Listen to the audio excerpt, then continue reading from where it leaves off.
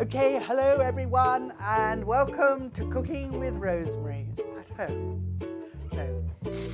Hello everybody, and welcome to Rosemary Cooking at Home. Now, welcome to Rosemary at Home. Can't wait to show you how to make my lovely fresh salmon quiche. Yummy! Today, we're going to be making moussaka with lamb. That is so good. This, oh my gosh, this is utterly, utterly delicious.